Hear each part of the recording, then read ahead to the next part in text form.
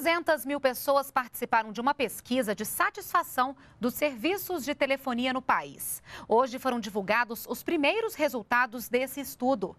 A opinião dos consumidores faz parte de um planejamento da Anatel e tem como ideia melhorar os serviços prestados pelas empresas de telecomunicações.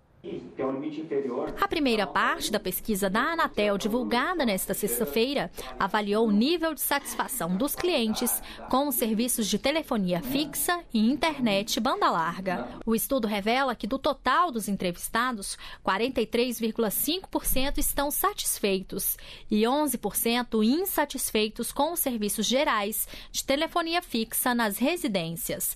Já nos estabelecimentos comerciais, o estudo mostra que 52, 5,5% estão satisfeitos e 5,3% não aprovam os serviços. Os entrevistados opinaram sobre critérios como atendimento, tarifas e qualidade das ligações e serviços de manutenção. Já em relação aos serviços de internet banda larga, a pesquisa levou em conta fatores como preços, velocidade de acesso e estabilidade de conexão.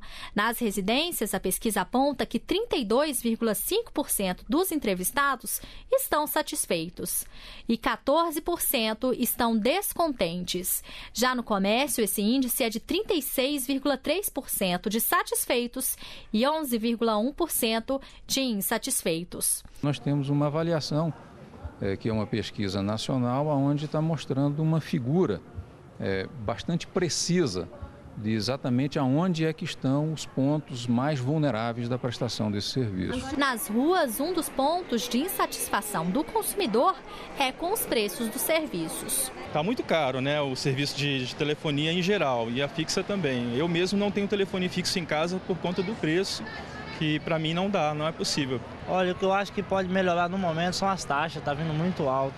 Foram ouvidos cerca de 200 mil entrevistados de todo o país. Os dados da pesquisa vão servir de base para melhorar os serviços prestados pelas operadoras de telefonia fixa e banda larga. As empresas poderão ter acesso a essas informações e saber quais aqueles fatores que estão levando os usuários a ter uma avaliação é, é, negativa das empresas. O fato é que nós não tínhamos ainda uma pesquisa assim, com esse nível de detalhamento, é onde a Anatel agora também vai usar esta pesquisa para cobrar dessas empresas a, a solução dessas questões que aparecem na pesquisa como soluções como, como os principais problemas que, que os usuários enfrentam na prestação do serviço.